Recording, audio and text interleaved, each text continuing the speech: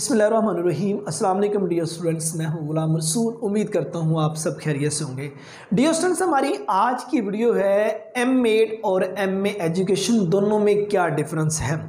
Dear students, अगर हम सबसे पहले एम के बारे में बात करें एम से पहले स्टूडेंट्स का बी होना ज़रूरी है। अगर उसने बी किया हुआ है बी के बाद वो एम करेगा और M stand for master in education means आपकी सिक्सटीन ईयर एजुकेशन जो सी है वो एम एड में क्लियर हो जाती है।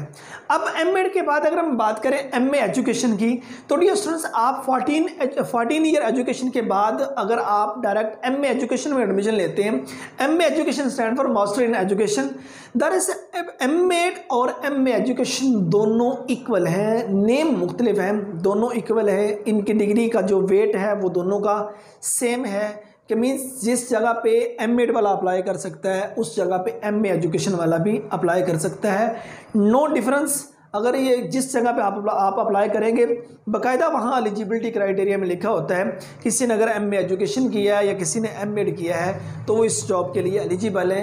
एम एड और एम एजुकेशन दोनों इक्वल हैं, दोनों सिक्सटीन ईयर एजुकेशन है, दोनों एम एजुकेशन के इक्वल हैं, और जहाँ एम एड वाला अप्लाई कर सकता है, वहाँ एम एजुकेशन वाला भी अप्लाई कर सकता है। अब एम एड तक पहुँचने के लिए ये होता है कि पहले बी एड किया हो, और उसके बाद आप एम एड करें।